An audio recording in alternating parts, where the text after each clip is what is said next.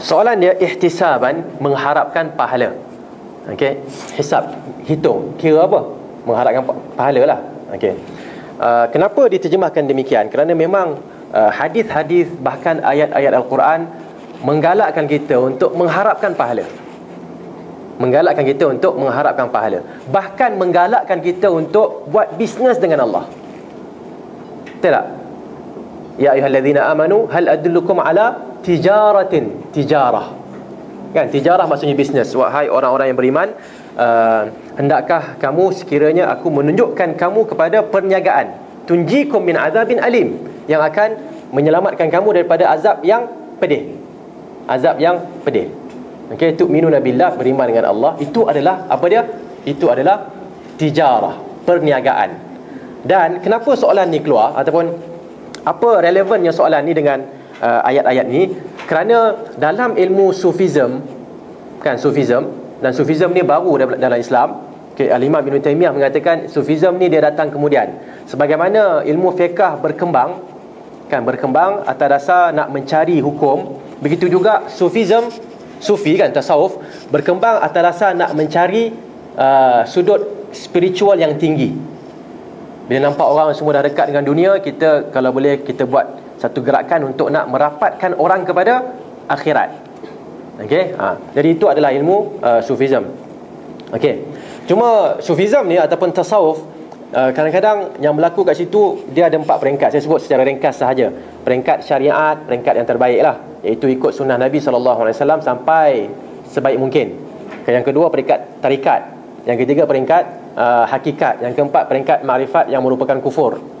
Okey. Nah, kita dapati yang peringkat Dua ni pun dah ada masalah. Ikut guru yang mengatakan contohnya uh, Baca Malam tadi saya jumpa Nabi Nabi kata baca zikir ini sebanyak seribu kali.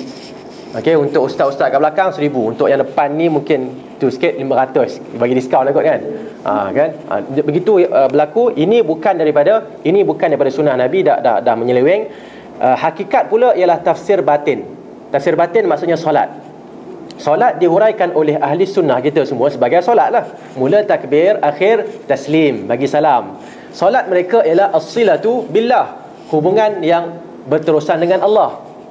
Itu solat yang sebenarnya. Salah, as-salatu. Asalnya adalah as-silah. Silaturahim kan? Okey, ha, silah hubungan. Hubungan dengan Allah. Orang yang uh, hubungan dengan Allah hanya lima kali yang wajib. Dengan macam kita ni yang 24 jam, siapa lebih hebat? Ha, kan? Ha, itu perbincangan dia. Ini semua sesat saya nak cerita ni. Dan yang terakhir sekali adalah makrifat. Okey? Uh, dan bila uh, peringkat yang kedua tadi berkaitan dengan soalan tadi. Ada di kalangan di kalangan uh, huraian berkenaan dengan ikhlas. Ikhlas ialah mengharapkan apa maksud ikhlas? Ikhlas kalau dari sudut bahasa ialah suci. Okey, jadi ikhlas dihuraikan sebagai tidak mengharapkan apa-apa balasan. Betul tak? Sebab tu bila kita hantar surat Kita kata Dengan ingatan Tulus Ikhlas Maksudnya apa?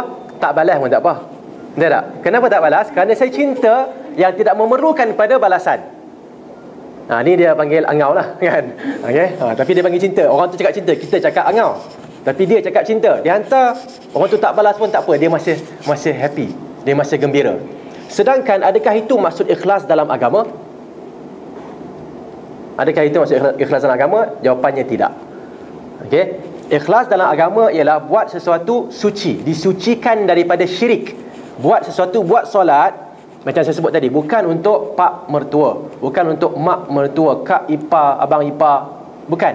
Tapi buat kerana Allah. Artinya Allahu akbar macam inilah kita sampai dia mula sampai habis. Bukannya Allahu akbar macam itu, lalu pak mertua naik balik kan. Jalan pak mertua turun balik. Ha, bukan yang itu. Itu dah tak ada keikhlasan nak tunjuk ada riak. Okey. Jadi uh, ringkasnya ialah uh, golongan sufism ada huraian daripada mereka yang mengatakan siapa yang buat ibadat kerana Allah siapa yang buat ibadat kerana cinta kepada Allah tak mengharapkan uh, tidak mengharapkan uh, syurga tak juga takut kepada neraka itulah dia ikhlas. Okey ini huraian nombor satu. Nombor dua, siapa yang buat ibadat mengharapkan um, mengharapkan dos uh, mengharapkan apa dia uh, uh, pahala dan masuk syurga ini adalah ibadat orang businessman tidak ikhlas. Ini dia orang cakap eh, dia orang cakap. Saya nak urai sebentar lagi apa yang yang betulnya. Okey, dan yang ketiga ialah orang yang buat ibadat kerana takut masuk neraka. Ini adalah ibadat hamba abdi juga tidak ikhlas. Okey. Huraian tiga ni memberi me, me, me, menyatakan ikhlas bagi pada tiga, ini adalah huraian yang salah. Kerana ikhlas itu ialah ikhlas mukhlisina lahuddin, mengikhlaskan menyucikan agama untuk Allah. Daripada apa? Daripada syirik. Bukannya tak mengharapkan pahala.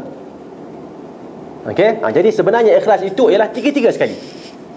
Apa dia? Buat kerana cinta pada Allah, buat kerana mengharapkan pahala dan balasan baik daripada Allah iaitu syurga buat juga buat uh, puasa ni contohnya kan? Buat juga kerana takutkan azab dan seksaan neraka. Tiga-tiga sekali kena ada. Tiga-tiga sekali kena ada. Banyak dalil yang mengatakan perkara itu. Uh, wa yad'unana raghaban wa rahaba. Mereka para nabi uh, uh, berdoa kepada kami iaitu beribadat kepada kami dalam keadaan raghab iaitu inginkan. Warahab iaitu takutkan. Inginkan apa? Inginkan rahmat Allah takutkan azab Allah okey ha, so banyak benda ni banyak berlaku. Kadang-kadang dalam nasyid-nasyid kan uh, yang apa dia yang uh, saya pernah dengar tapi saya tak ingat uh, nasyid tu yang mengatakan kalau saya sembah engkau ya Allah kerana apa? Kerana nakkan uh, syurga jauhkan daripada syurga. Kalau sembah kalau aku sembah engkau kerana uh, takutkan neraka humbankan aku dalam neraka. Ya betul kan? Kita tak diajar begitu. Kita diajar untuk ikhlas daripada syirik okey dan mengharapkan dosa eh, mengharapkan pahala dan takutkan dosa. Okey? Ha, so itu itu jawapannya lah